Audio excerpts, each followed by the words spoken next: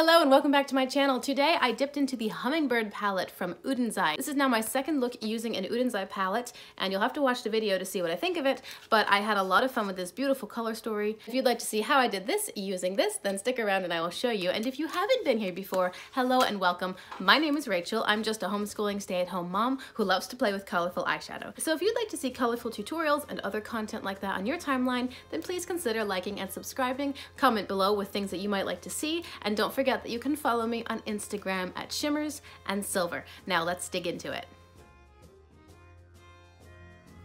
All right, I'm diving right in with my Icing Primer in White Frosting. This is my very first tutorial of the new year, so Happy New Year and good morning. It's about six in the morning on January 1st.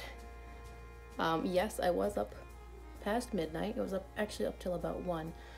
But my sister is coming into town and I wanted to get one more tutorial done done and uploaded before she arrives.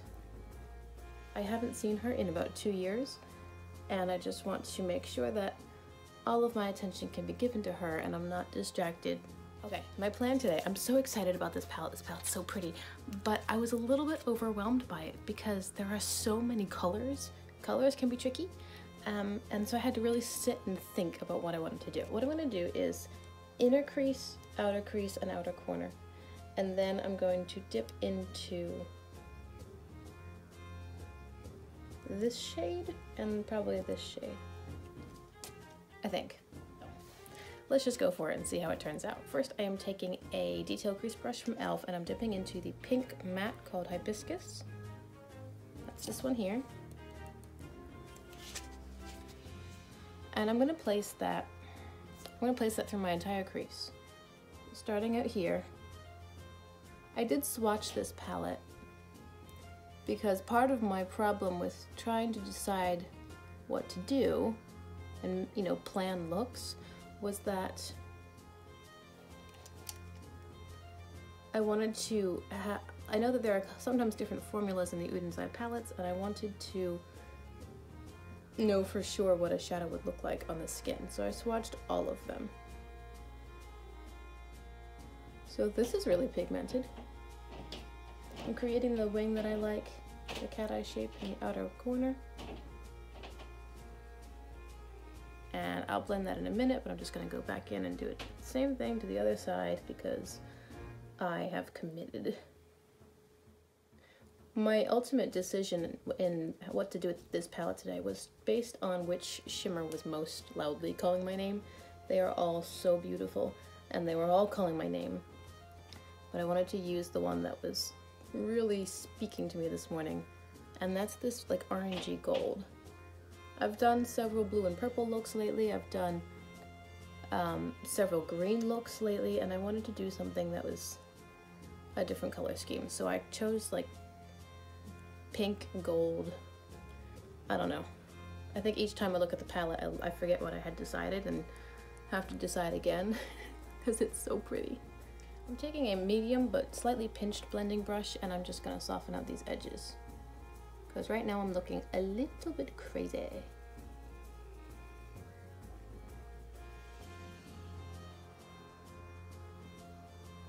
I have to admit that I'm a little bit nervous I hope that I love the way this turns out.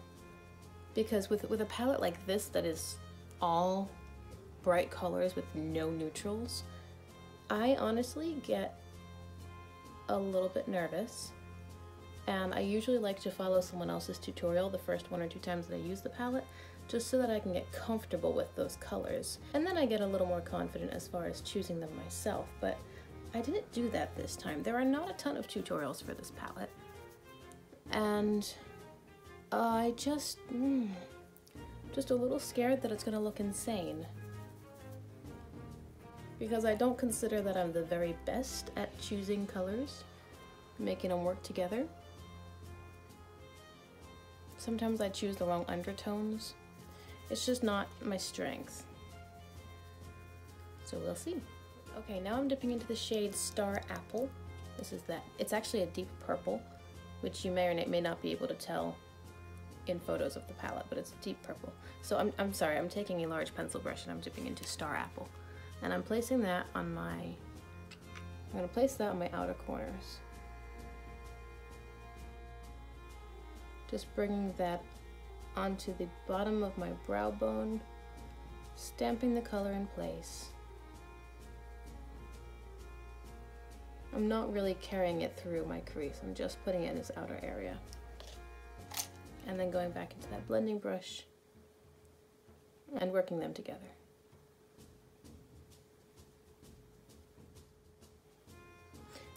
So when I'm doing this blending, I'm not dragging back and forth in windshield wiper motions.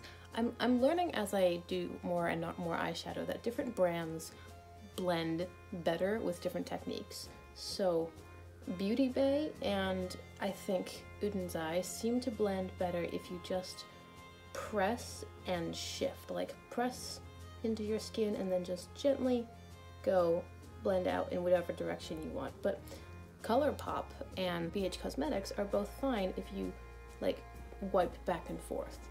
So it's just an interesting thing. Like I think with Oden's Eye, it seems to work better for blending if, especially if I'm blending a dark color, that I, I just sort of press the pigment into my skin and then push it off in short little strokes.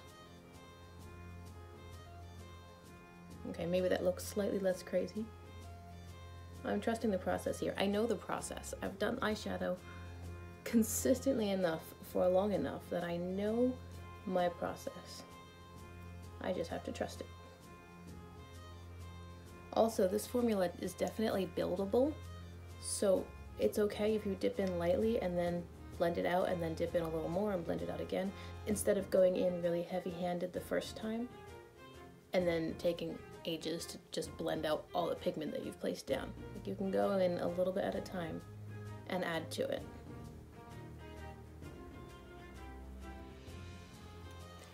Okay, I think that's actually looking really pretty. Now I'm taking a flat shader brush and I'm dipping into the shade Swallowtail, which is this one right here. I'm gonna go and dry first to see how it performs because I don't remember. So it's just dry on my brush and I'm gonna place that on my lid. Starting in the inner corner and working out to meet that purple.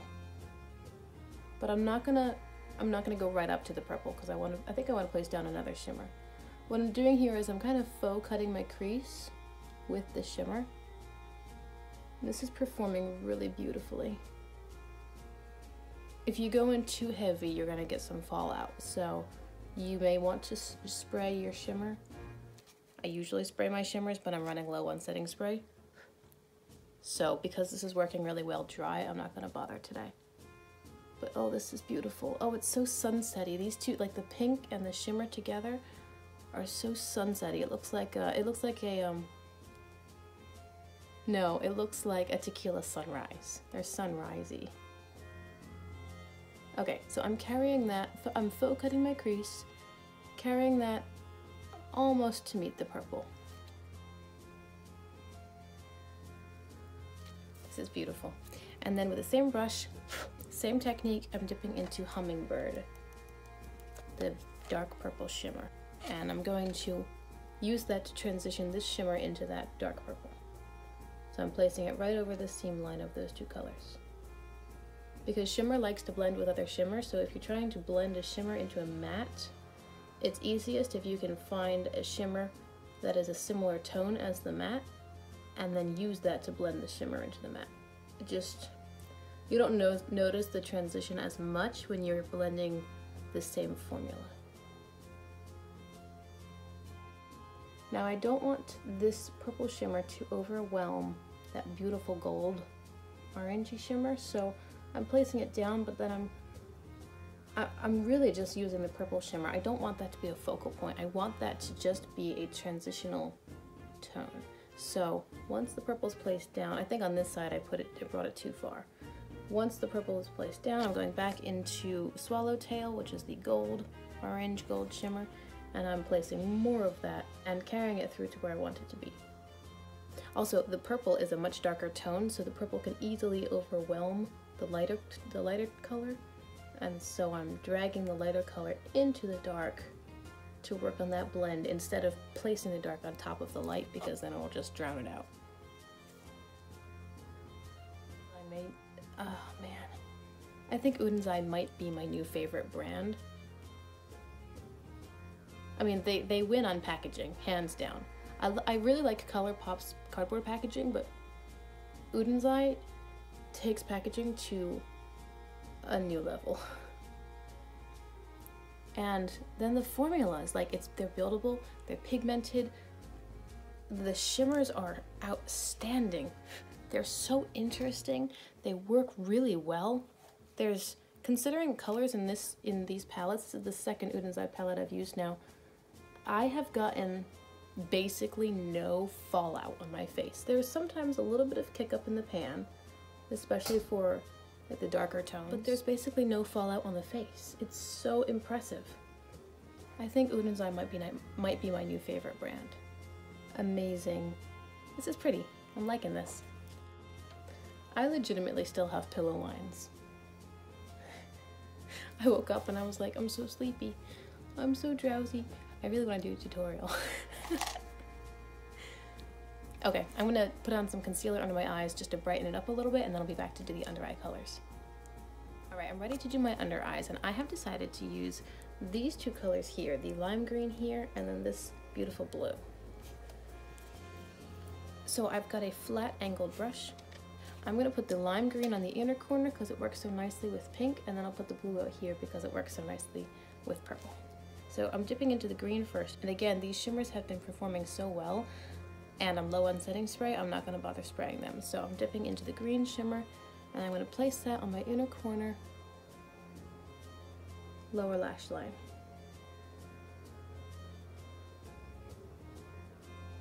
Look at that, that is so gorgeous. I'm gonna bring that color about halfway want to put this color all over my eyelid. These colors are amazing. All of them. Oh my word. Oden's Eye would technically be my first indie brand. And I have I have heard since coming on the eyeshadow scene, which has been about 10 months, I have heard that sorry, now I'm dipping into the blue. Uh, the green is called Feathers and the blue is called Tropics. So I'm dipping into the blue and starting my outer lower lash line and bringing it out, to, bringing it in to meet the green. Anyway, I have heard that there have been a lot of indie brands coming on scene who are really giving the mainstream brands a run for their money, particularly with shimmers and duochromes. I'll be honest with you, I know it's not trendy, but I don't love duochromes. I, I just, I understand they're cool, they are cool, but they don't excite me very much. I find that duochromes can be difficult to work with because you don't know what color you're getting. Like, if you have more of a brown eyeshadow look and you put on a duochrome that has brown and green to it, yes, green works well with brown, but I don't know, it, it maybe that color green doesn't work with the rest of the eye look, and then you've got, uh, I don't know. I, I'm not really on the duochrome trend. I have heard indie brands are definitely getting noticed for their for their shimmers and their duochromes or multichromes. I'm gonna take that blue and because I have a nice crisp angled brush, I'm just gonna bring it out to echo this wing area. Kind of like doing a reverse cat eye. And now I'm taking two eyeliners. The green is called A Glow, and it is from ColourPop's Lush Life collection. And then the blue is called Big Splash and it might be from the Cabana Club collection, ColourPop, but I'm not sure. And I'm going to, I'm going to echo what I did on the lower lash line. So the green waterline goes above the green shimmer. And the blue waterline goes above the blue shimmer. Okay, so I don't think it turned out too crazy. I think it's pretty. I'm gonna finish up with some black eyeliner and mascara and then I'll be back.